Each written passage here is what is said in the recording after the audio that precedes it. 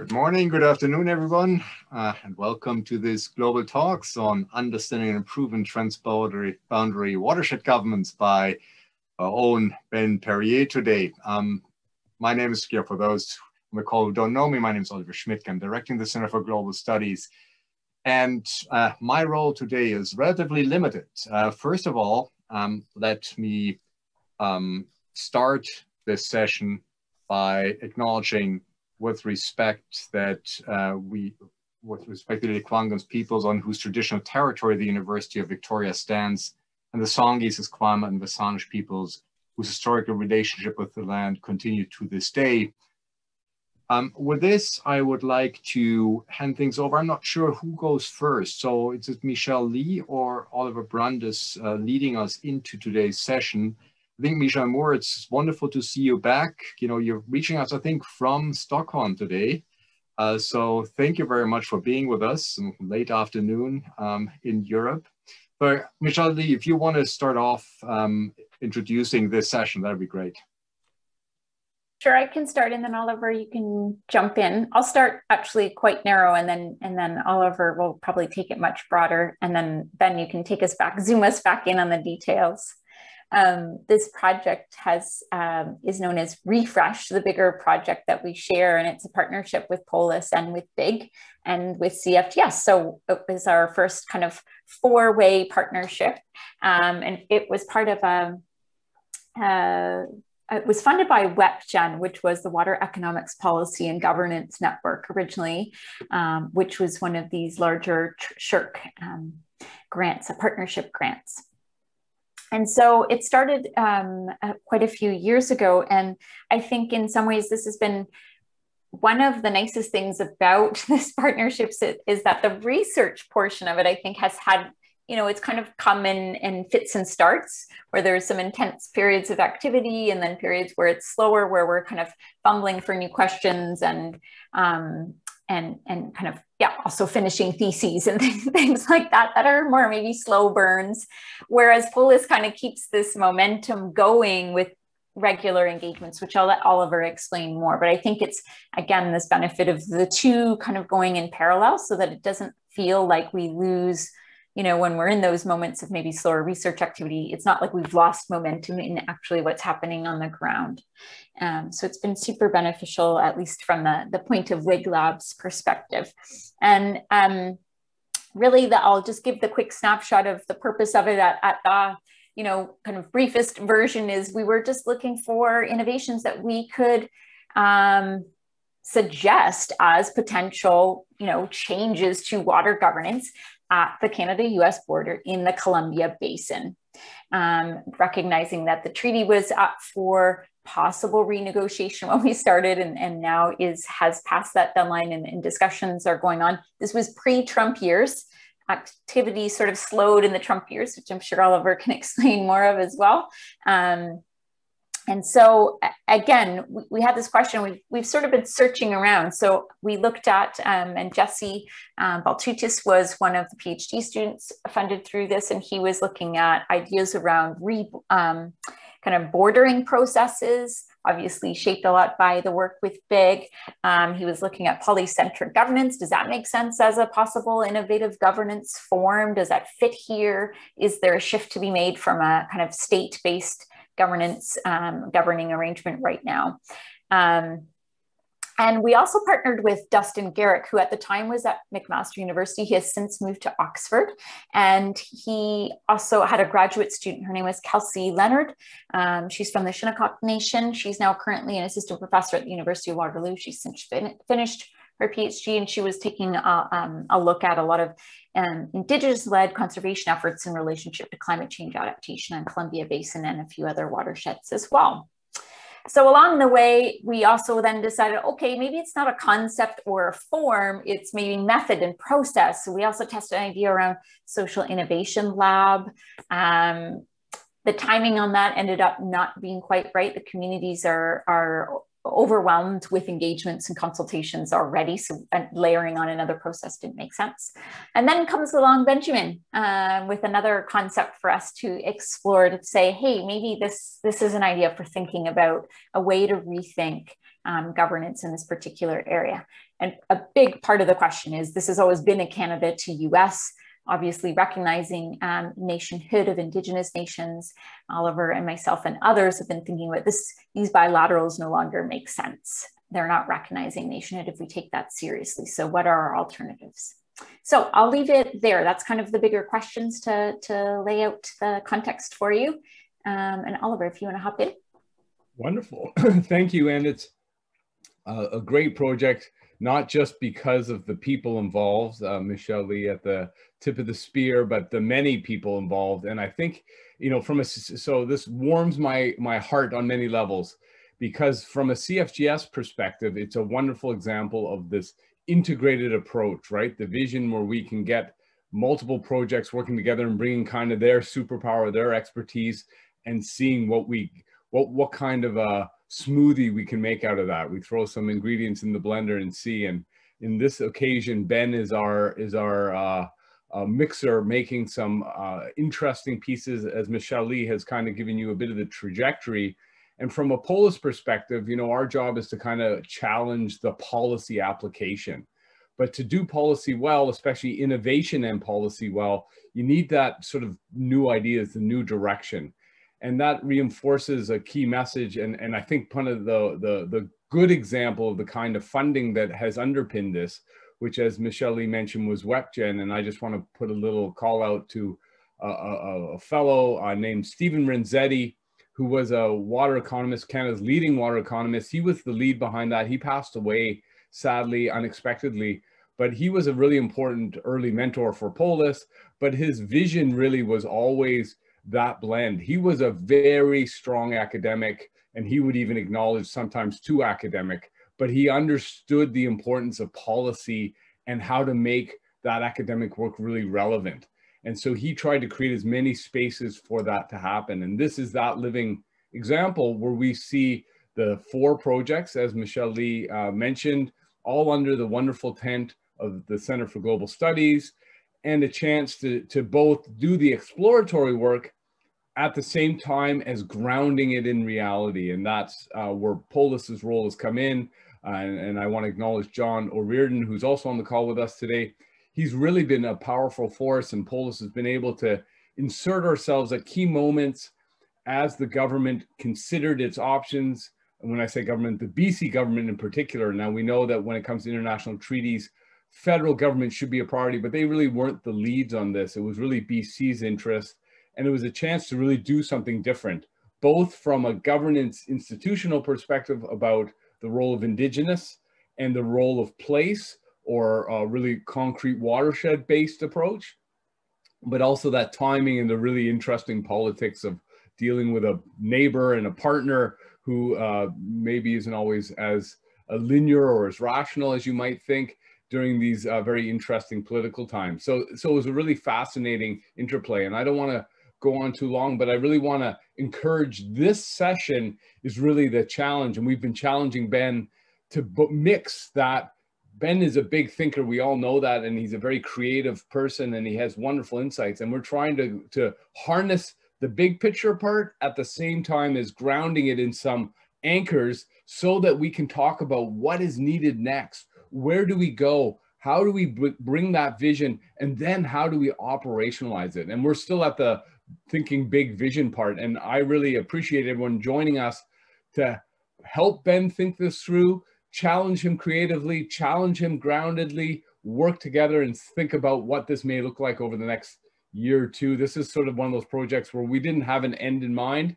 It's growing and we'll see where it is. So with that, Ben, and uh, too much long-winded, uh, I really uh, look forward to this conversation.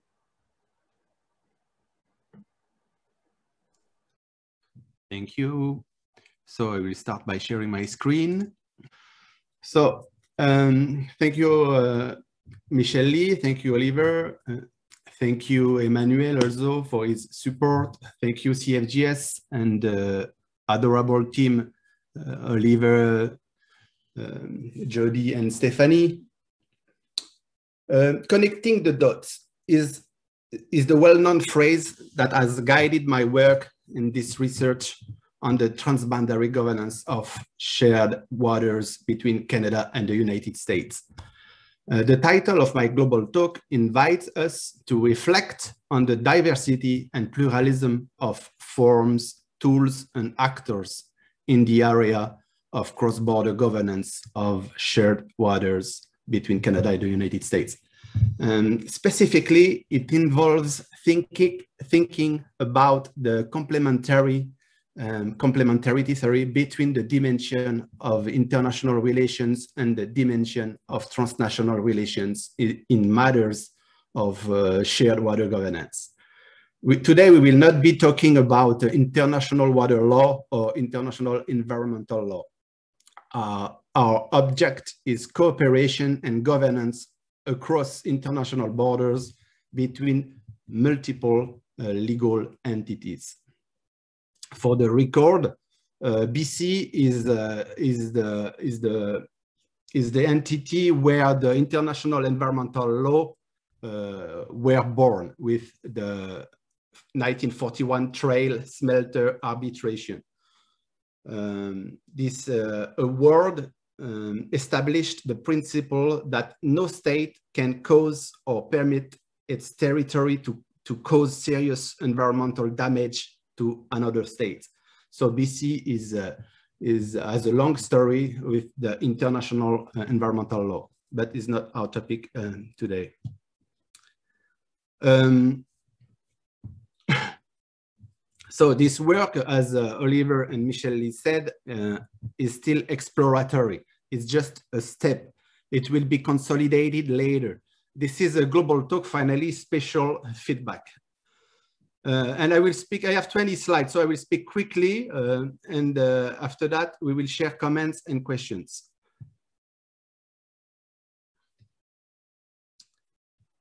So uh, my outline, uh, I will speak uh, successively of the position of the problem, of the theoretical framework I chose, and I will present the situation at the Canada-United States border, then I will focus on the Great Lakes, on the Yukon Basin, and finally on the Columbia River. this uh, global talk uh, exam examines the legal landscape of cross-border governance or transboundary governance at the uh, Canada-US border. And the goal of this, uh, this research, is about identifying the dominant trends. Um, I uh, identify a research question uh, and I will share with you this research question. This research question is how and to what extent can the governance of transboundary watersheds be improved by a transnational legal framework or and by a transnational juridical networks. Here is a map of the 286 transboundary watersheds around the world. Um, since then, uh, researchers have updated the number of these basins and they have discovered 310 international watersheds. And these uh, 310 basins face the same legal challenges. Uh, all are linked to the dominant architecture of the legal world the political division of territories by international borders. If you see this map, you also see that the world is fragmented into several territories. So what you really see, what you really see is actually the dominant architecture of this world that originated from the sovereign states. Uh, in the classic and uh, modern reading, Canada and the United States share 20 large transboundary basins. and among them are the Great Lakes uh, St. Lawrence Basin, the Yukon Basin, and the Columbia River Basin. Um, if the legal world is fragmented, the transboundary governance of shared waters is precisely aimed at trying to reconnect the spatial and legal fragments of these waters. if the borders cut, cross-border and transboundary governance brings together. Um, as water creates links between different, different, different countries, we must be able to think of these links in terms of cooperation, coordination, and governance.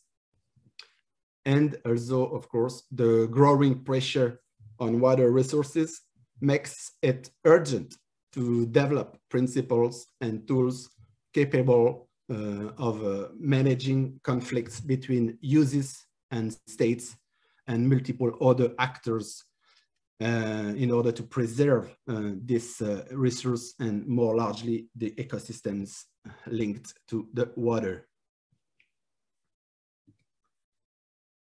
Um, let's start also by the position of the problem. So water is life. The water circuit does not obey territorial separations. The dominant legal model is structured on notion structures and matrix regimes such as the sovereignty of states in their territory and the sovereignty also of states in the international sphere. Um, for the record, the first international treaty concerned water and irrigations issue more than 4,000 years ago. So as, uh, as we notice, uh, international law is far before the ap ap appearance of the states in the 17th century. And uh, legal problems issue appeared long time before the legal modernity. so what is the position of the issue we are raising today? Um, we need to have this idea of the legal world in, the, in our mind. Um, the world around us is built on dominant legal, with dominant legal representations that influence us every day. Among them, international borders, uh, the figures of sovereign states, and the conceptualization of the legal universe into two separate, separate spheres the domestic sphere is separated from the international sphere. Uh, this conceptualization between these two spheres, the domestic and the international uh, one, as a, as a separated, is uh, is the is from the the, the thinker and the legal thinker uh, Emer, Emer de Vattel. And in this conceptualization, the domestic relations uh, the sorry, the foreign relations are the competence uh, are the competence of the central states.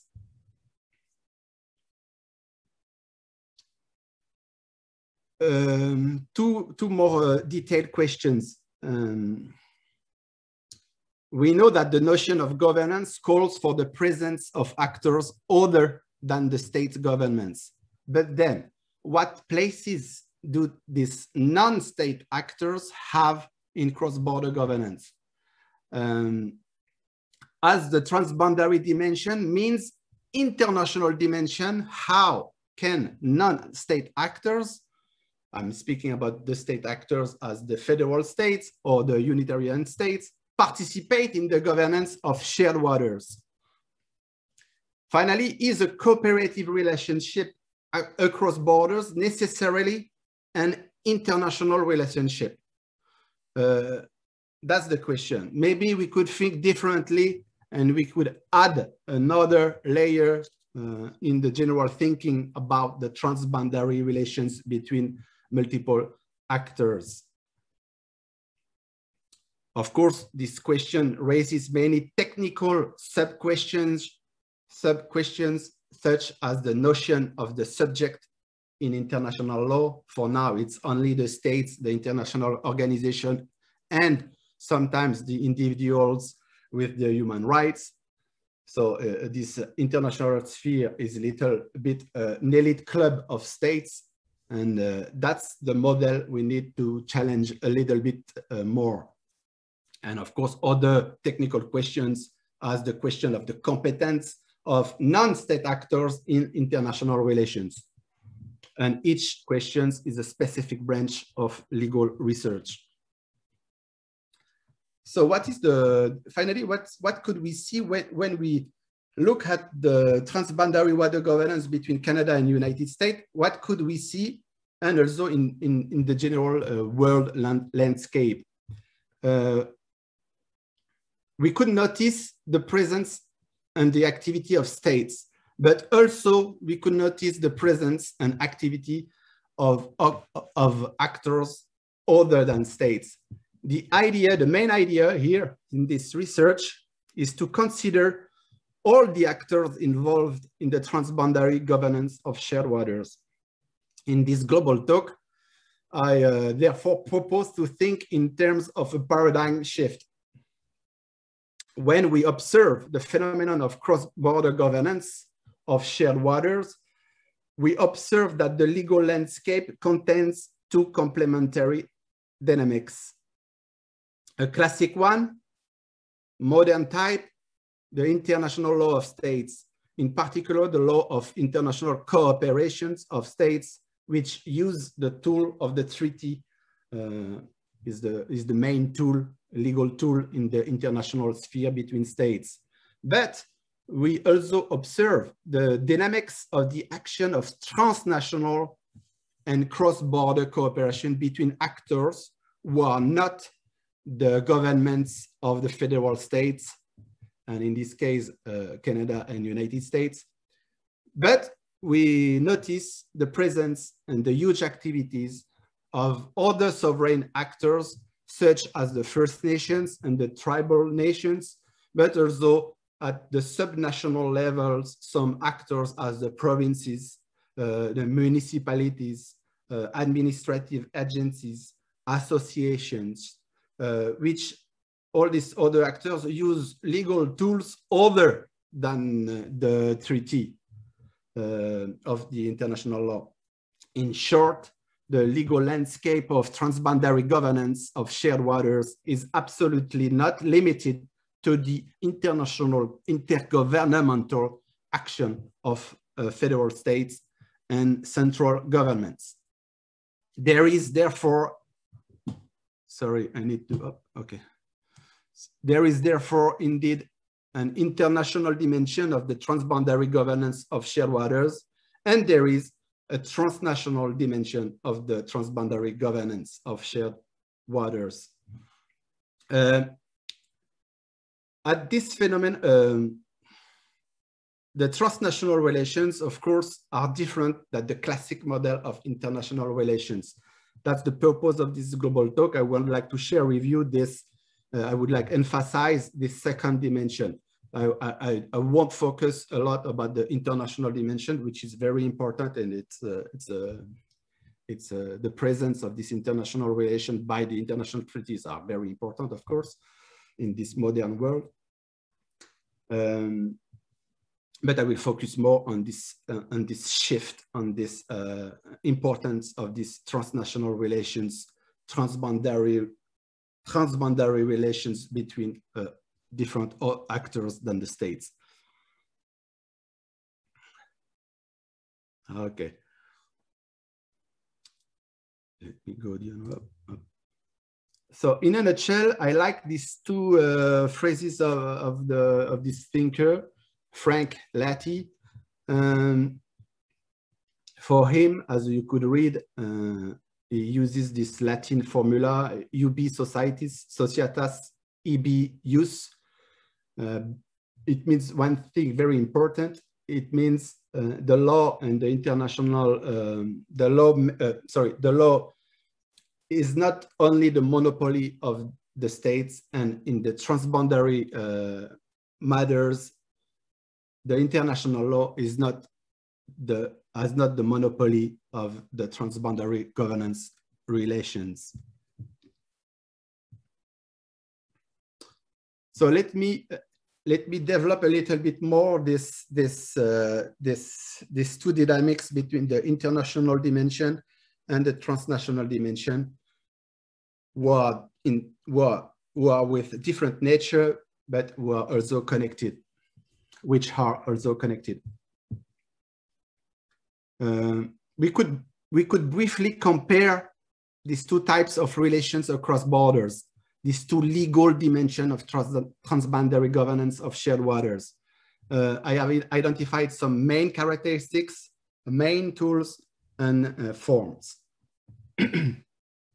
As I said, there are two categories of actors that emerge. The states like Canada and USA, and actors who are not states, but who are of uh, another legal nature. Of course, as we know, we live in the modern world dominated by states. States are ambassadors and actors of this, of this legal internationalism. And uh, as they are the ones who developed the dominant legal architecture of the world, they know this internationalism very well. And it is the states which voluntarily make international law. All international law is based on their mutual, mutual consent. International law can't exist without the consent of the states. And, uh, and these states mobilize, mobilize the tools of international law, such as treaties, uh, which are the type of legal contract uh, between states. And this contract, through this contract, they have rights and duties, reciprocal rights and duties with other states. Um, we, some scholars use this expression of hard law. Uh, in this legal internationalism, we have uh, the dominant, the, the, the majority of, uh, of the legal tools are uh, hard. It means uh, they are binding agreement, like these famous international treaties. But the states could also use uh, some soft law.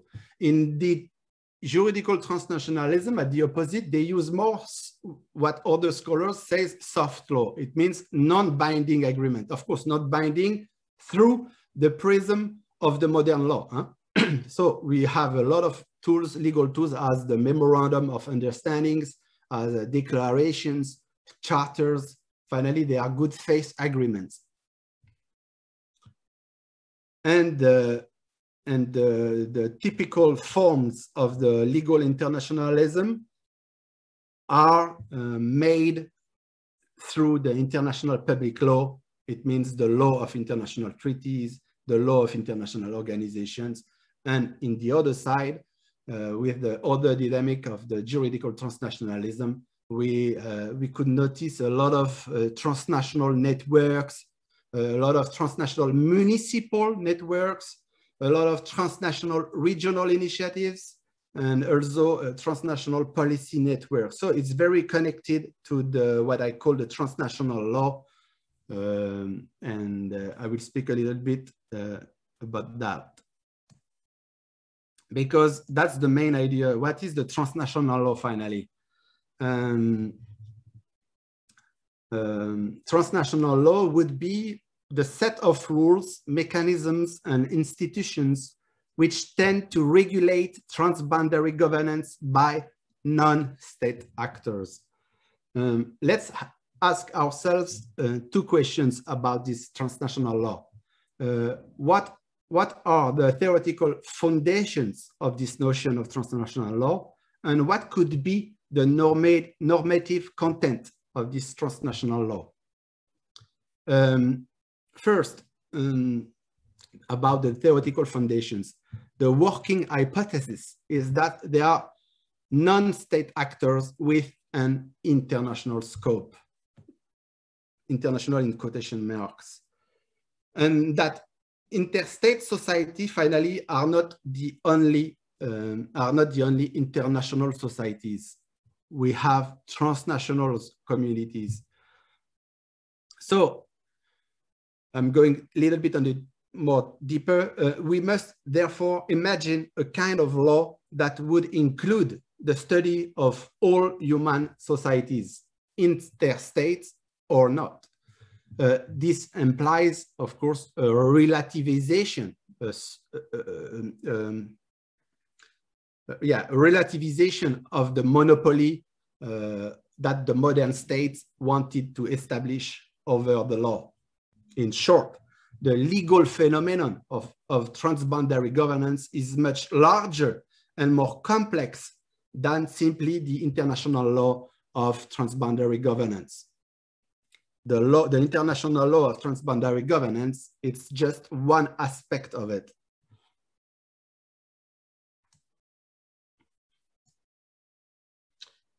Um, this transnational law idea is uh, linked to the idea of the legal pluralism. Uh, what it means, legal pluralism, it means you don't have one source of law from one type of actors.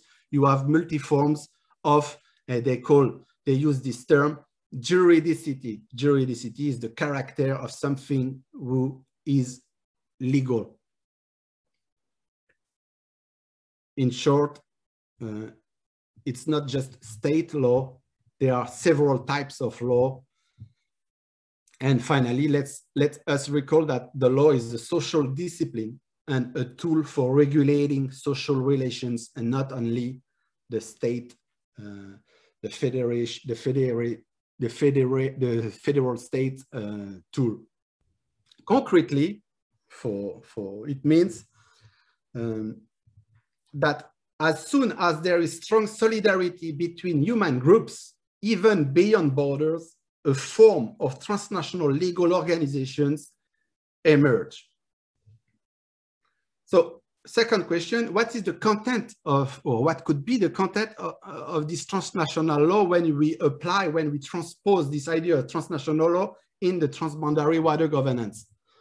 I think it uh, simply uh, follows the observation of existing practices, um, the repetition of such and of these clauses or these dispositions, the repetition of this type of agreement, the repetition of these approvals of these mechanisms. And the transnational uh, rules would be finally uh, the rules uh, that the transboundary partners would gradually give to themselves in order to cooperate and to organize co and also to co-construct something in common.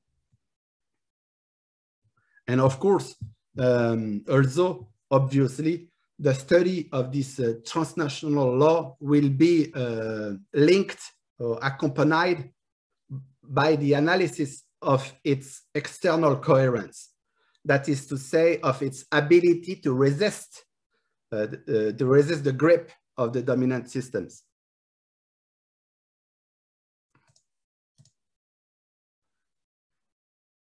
Okay, now we have uh, finished with the analytical and theoretical framework. Let's go in the empirical uh, studies. What could we see at the uh, international border between United States and Canada at the international level? And what could we see uh, what is the international landscape in the Great Lakes, in the Yukon, and in the Columbia River, and what is also the transnational piece in the Great Lakes, in the Yukon, and in the Columbia uh, River Basin. Um, of course, uh, the entire uh, dyad border uh, between Canada and United States um, is, is, uh, is the product of a lot of international treaty of delimitations successively. Uh, and the, the, famous one is this treaty uh, of boundary waters treaty from 1909 1910 uh, and this treaty has a specific importance is in the legal history of trans transboundary uh, water governance between US and Canada because uh, it created the International Joint Commission. And this International Joint Commission is a kind of international organization completely linked to, uh, to the, the, the federal uh, government with, with independent and very uh, important uh, independent role of, of um, of making report, of um, of making studies, of also to to to smooth the relations between the two states. So it, it, this international uh, um, international com joint commission plays a very important role, and in this transboundary water governance. And the the latest report, the latest report of this international joint commission from December 2020. So it's very, uh, it's very, uh, um, it's, it's very close to us, illustrates the news and the progress of this international institution. But is just one layer of the complexity of the legal landscape uh, about transboundary water governance. Uh, I, I, uh, I, I, do not forget to mention the two, uh, the two, um, the two activities of these two, two activities, uh, maybe the, not the two main activities, but two important uh, activities of the International Joint Commissions. It's, they created international watershed and river boards.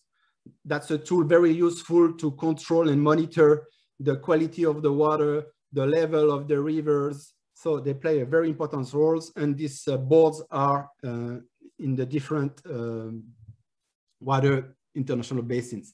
And you have also the international watershed initiatives. Uh, that, uh, that's what I wanted to mention today. So let's see what is this land, what is the legal landscape of the Great Lakes what is the legal landscape and these two dimension? What is uh, the international uh, part and what is the transnational part? Um, so maybe you know the Great Lakes area includes a large number of actors and, and, and, uh, and a lot of uh, diffused and distributed governance at several levels. At the international and federal level, states have, for example, created the International Joint Commission in charge of water qualities. So, um, and in charge also of the lake levels. And this commission is also managing the binational disputes. At the sub-federal uh, level, the Canadian provinces and uh, the, the American states, federated states, have signed several agreements including the Conference of Great Lakes St. Lawrence Governors and Premiers in 1983 and the Great Lakes Charter. Let's focus a little bit on the, on the Great Lakes Charter. This Great Lakes Charter, so from uh, 1985, uh, they have elaborated a charter.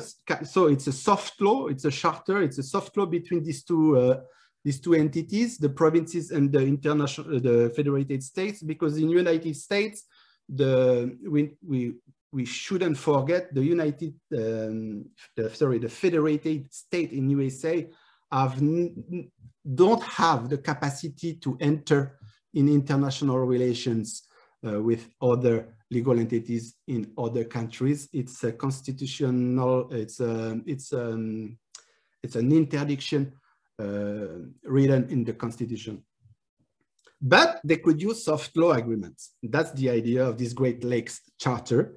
And uh, we could notice in the principle one, integrity of the Great Lakes Basin, the water resources of the basin transcend political boundaries within the basin and should be recognized and treated as a legal, single hydrologic uh, system. Let's let's move on on the uh, more local level. And we notice the existence of a transnational network of cities all around the lakes. This network brings together about 130 American and Canadian mayors. And this transnational networks, uh, network aims uh, to improve the protection and restoration of the waters and aquatic ecosystem of the lakes. It plays an important role in uh, diagnosis, communication, uh, information exchange at the interlocal level of the Great, Great Lakes. If now let's speak about the, the, the, the, the importance of indigenous people in these Great Lakes. They have, of course, I recall that indigenous people have a historical continuity with their traditional territories and have regulated the waters and lands uh, within their territories since uh, time immemorial. Um, at the level of the sovereign First Nation and the sovereign tribal nations, there is a very great activity of cooperation through the border, through the modern borders.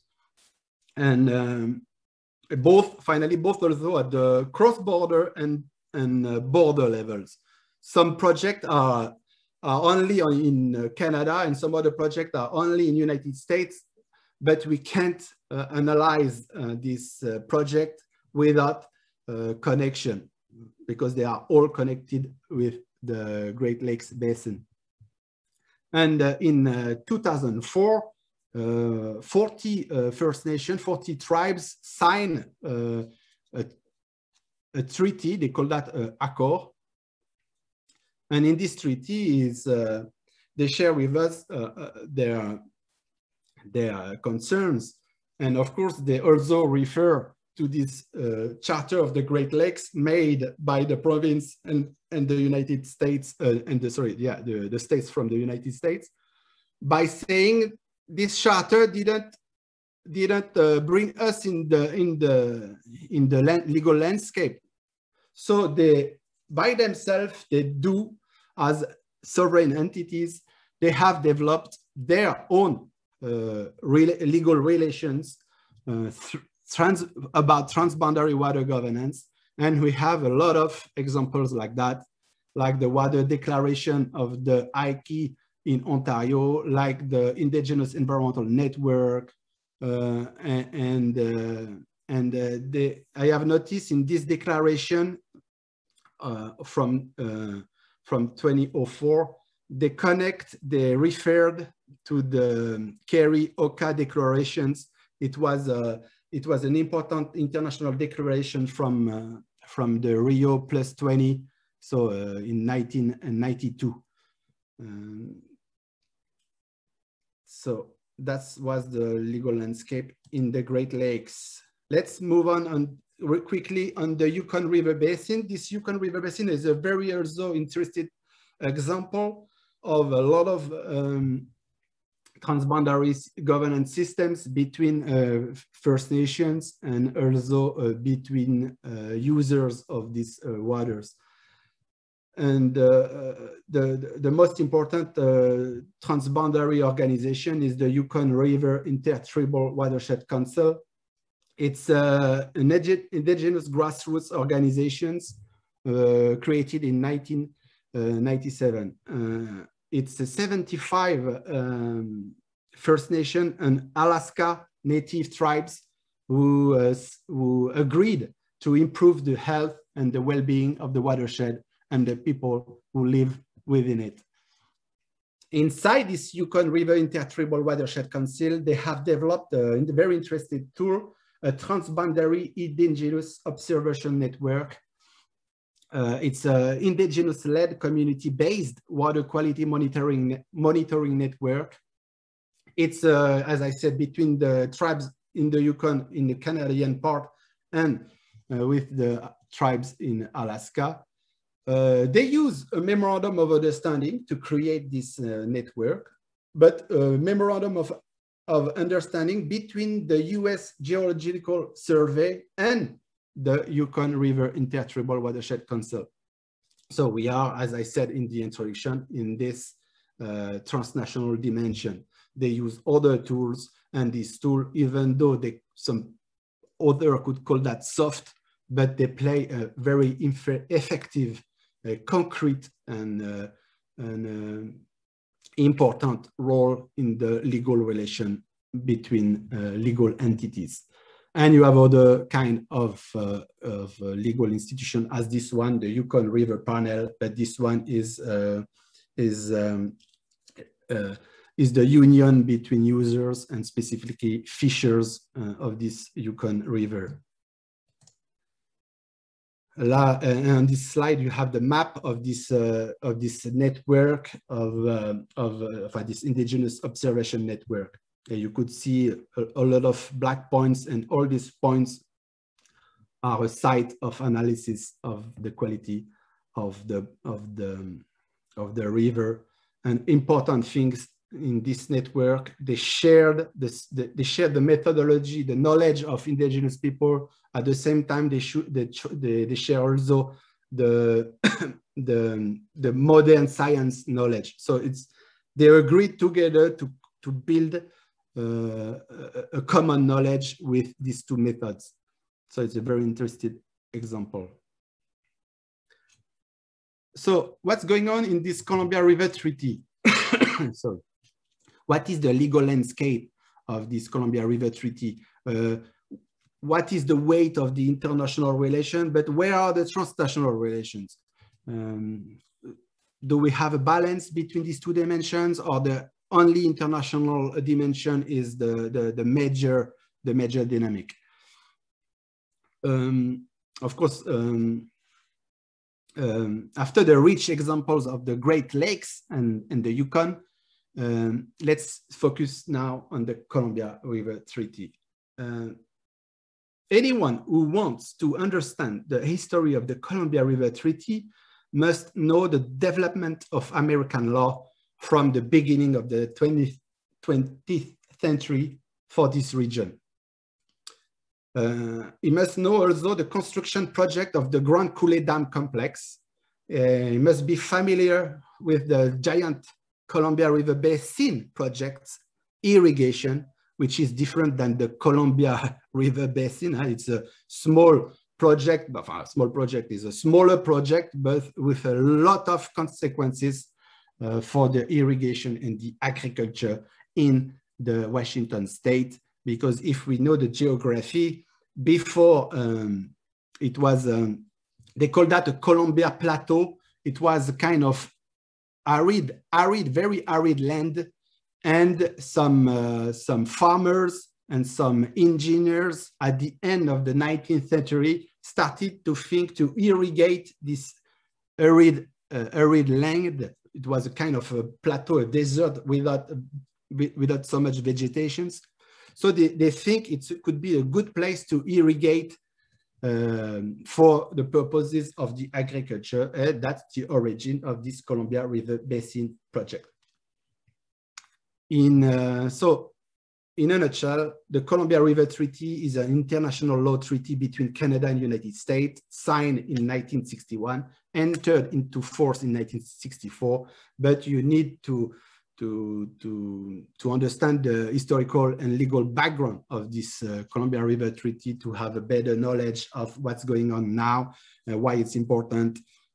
And uh, of course, we don't have to forget at the time of uh, in 1961, 1964, and after the study, the specific study made by the International Joint Commission in 19, between 1944, because the Inter International Joint Commission started to study um, the possibility to extend, to, to use better the river of the Columbia River in 1944. And after 15 years of studies, the International Joint Commissions, by the, after the request of the United States and Canadian government, uh, uh, published a report uh, as uh, it's a good idea. They balance the cost they balance the cost and the and the and the wins, and they decided to uh, create uh, to engage in this Columbia River Treaty.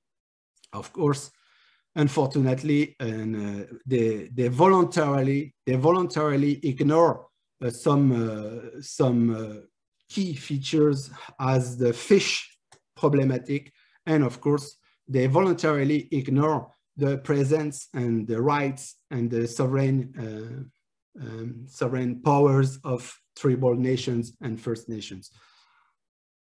I say voluntarily because they made this balance and in some reports in the 30s, in the 40s, it's uh, in the very, very technical reports, uh, the, the, the tribal nations uh, were included in the studies, in the scientific studies of this Columbia River Basin and uh, some, uh, some um, in this report, we could clearly see uh, they were aware about the loss of the international, the First Nation lands or the tribal nation lands. They were completely aware about that, but finally they decided to not uh, to in this uh, this uh, critical, of course, balance of cost and benefits.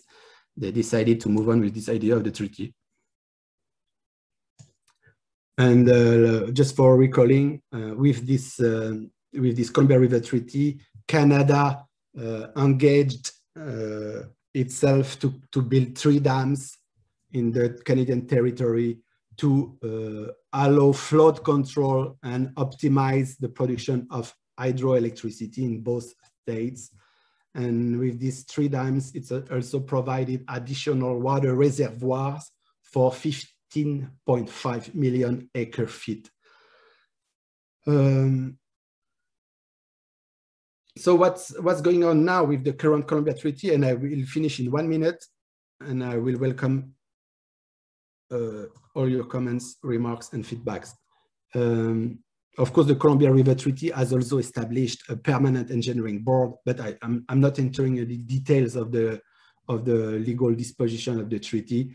And as we know, since the last for the last 10 years, they have developed a reviewing process where uh, where in 2013, United States decided to to review the process, and at the same time, Canada Canada decided to review the process, in, and they they uh, since 2019 they developed some uh, some meetings regularly. Uh, it's the 10th 10th round of meeting from last year, but since the 10th round of last year, uh, the Canadian uh, side has not received yet any information about the United States ideas of how they will review the process. Uh, um, let's see one thing also, of course, for the United States, if uh, um, I'm not mistaken, the most important thing, uh, one of them is the reintroduction of the salmon in the Columbia River Basin above the Grand Coulee Dam, because this Grand Coulee Dam, I didn't say that before, uh, cut the flow of salmon uh, towards the upper, upper, upper Columbian Basin. Of course, we have other issues as the impact of invasive species, the uh, some modernization of the hydropower and the energy efficiency, uh, of course, some also climate change related impacts, uh, etc. sorry, you could see quickly the size of the Colombian River Basin at the left and the Canadian part of the Columbia River Basin at the right. And I'm familiar with the size of the Columbia River Basin because I'm from France and this Columbia River Basin is bigger than uh, the, the France country. Uh, so it's, it's a huge country on the map. Of course, it's very small, but it's a sorry, it's a very huge uh, basin. With with geographically, in a nutshell, you have the branch of the Snake Lake, the branch of the Columbia River, and the common the common river between the Snake and the Columbia River uh, after after the Dalles uh, Dam, and and yeah. And uh, geographically also we need to have the clear understanding of the mountains, not only about the water and the hydrological basin, but also about the mountains and the Rocky Mountains in the Canadian Park are very, very um, important because they are they are higher and bigger than the mountains in the Washington state. And that's why it explains that the, that the, that the, the amount, the volume of the water is very important, even though it's a little, it's just 15% of the, of the um, area of the Columbia Basin, but because these mountains, the, the flow of, of water from Canada is very important. What is the international dimension in this Columbia River Basin and what is the international transnational dimension in this Columbia Basin? So we could see you have international treaties, of course. You have inter-tribes and First Nation uh, legal uh, relation by this, uh, specifically this Syilx United Declaration between the Okanagan Nation Alliance and the Colville Confederated Tribes.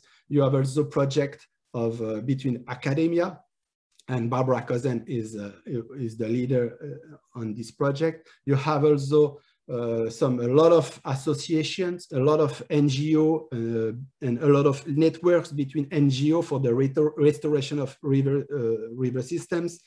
You have also some agreement between the, the federated states, so between the United Federated States and the provinces of Canada. You have also important agreement between interagency a specific agreement between the Columbia Basin Trust and the Northwest Power and Conservation Council. You have also a technical uh, relation between inside this engineering board. You have also multi-level governance, specifically in this great Northern Landscape Conservation Cooperative. And you have also uh, a huge organization at the public-private uh, level. It's an organism which is mixing uh, uh important leaders in the economic and at the political level. And this, uh, this partner has a specific water uh, policy working group. So all this, this, all these examples are illustrating the the international dynamic and of course the transnational dynamic. And we need to have both dynamics in mind to have uh, the more accurate picture of the transboundary governance uh, landscape in the Columbia River Basin. Okay, I, I won't speak I won't speak very much about the Columbia Treaty Review, the detail of what, what USA thinks about that, what the expert thinks about that, what the Canada and the province of BC think about that. Um, the important things to remember is the situation, the legal situation has completely changed from 1961 uh, up to now. Uh, the legal, the legal, the legal uh, dimension has completely changed with this presence of multitudinous actors at different levels and uh, uh, and the, the presence of First Nation and tribal nation, their rights and the title and their sovereignty are more and more every day uh, taking uh, uh, uh, more and more signification in, in, in the negotiation between the two states. Okay, so what are, uh, it's my uh, last slide. What are the main findings and main learnings international law is not the only legal dimension. The treaty is not only the legal dimension. We need to have a, a better uh, transnational approach of uh, for for the for the future of this Columbia Basin uh, governance. Um, internationalism and the treaties are important, of course, at their level between states, and they have also a huge importance to irrigate the, the movement of the protection of the Columbia River Basin. Uh, the, in, in this sense, they could help local powers, they could help local authorities, by example, by the, the, the new federal agency of the in water in Canada. By creating this kind of agency, they should be uh, uh, harmonize better the legal landscape of water in, in the Canadian country. But of course, in parallel to this international dimension, you have this transnationalism uh, built on transnational networks between different actors, and we can't avoid the importance of uh, of these legal of these legal actors because they are part, they are concretely part of the uh, real legal reality of this Columbia River Basin. And finally, this idea of transnationalism, this, this idea of transnational law is kind of uh, subsidiarization and democratization of this international world, as we know, reserved between the, the states.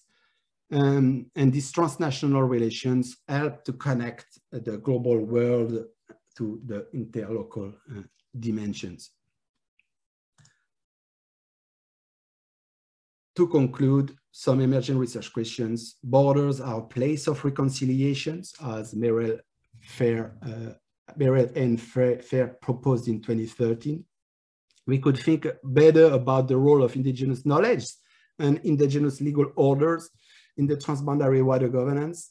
Of course, uh, since the adoption by, uh, by BC and soon by the Canada about this um, uh, declaration of on the rights of indigenous people act, we have some consequences, specifically with the Article 36 and the Article 46.